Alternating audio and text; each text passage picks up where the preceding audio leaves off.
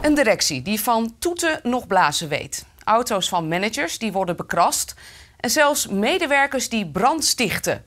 In het Financieel Dagblad doen voormalig en huidige werknemers van het afval-energiebedrijf een boekje open over de fysieke bedrijfscultuur binnen het AEB. Volgens de anonieme bronnen is het AEB al jaren een stuurloos schip. En is het diep gewortelde wantrouwen tussen de top en de werkvloer de oorzaak van de huidige crisis. Sommige bronnen beweren zelfs dat het stilleggen van vier van de zes verbrandingslijnen een rookgordijn is om de machtsstrijd op de werkvloer te verhullen. Volgens hen zouden ze met een maand weer operationeel kunnen zijn. Ja, aangeschoven mij in de studio uh, verslaggever Ronald Oshoorn. Ja. dit ligt er niet om. Nee, dit is inderdaad uh, ontluisterend te noemen. Uh, nou wisten wij van onze bronnen ook wel dat het niet boterde tussen enerzijds de werkvloer en anderzijds de top. Maar zo gedetailleerd als vandaag in de krant staat, dat wisten we nog niet. En ook best wel beschadigend naar de mensen op de werkvloer toe. zo zouden monteurs dus ovens hebben gesaboteerd, zodat ze wat spannender werk konden doen dan alleen het saaie onderhoudswerk. Nog wat extra overuren kunnen schrijven en nog wat extra vakantie kunnen opnemen. Nou, als dat allemaal echt zo is, dan is dat natuurlijk buitengewoon ernstig. Maar we gaan er natuurlijk maar even vanuit natuurlijk dat de collega's van het FD dat van verschillende bronnen onafhankelijk van elkaar gehoord hebben. Ik sprak vanmiddag nog even met een van de auteurs. En tijdens die gesprekken hoorden we steeds meer verhalen over.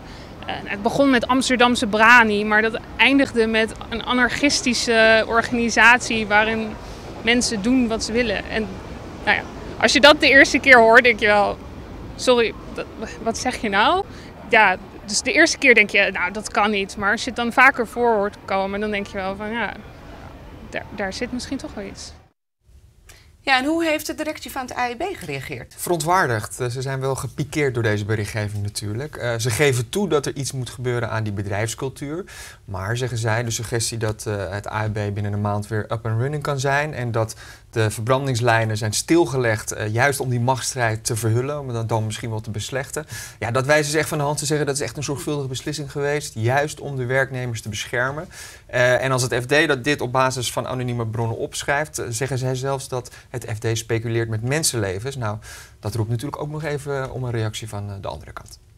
Voor ons geldt ook veiligheid staat op één. Wij zoeken alleen dieper naar waar zit dat gevaar van die veiligheid dan in. En die veiligheid zit ook in procedures, werkwijzes, houding van de mensen. Het, gaat om een grote fabriek waar, waar gevaarlijke processen zijn.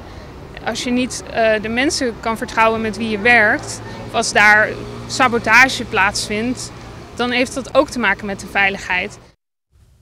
Ja, dan ontbreekt nog altijd even een reactie van de gemeente. Nog altijd 100% aandeelhouder van het AIB. Uh, eh, een belang, financieel belang van 250 miljoen euro. Uh, zij zeggen vooralsnog dat hen geen blaam treft, want het AIB is op afstand gezet. Uh, een, een, zelfstandig bedrijf en de gemeente gaat daar niet over de dagelijkse gang van zaken. Wel, en dat is al aangekondigd, wordt er een onderzoek, een onafhankelijk onderzoek gedaan naar hoe dit allemaal tot stand heeft kunnen komen. En hoe het nou allemaal verder gaat met het AIB. Ik verwacht eigenlijk dat binnen een kleine twee weken we daar meer over kunnen melden. Goed, we blijven het volgen. Bedankt voor nu, Ronald.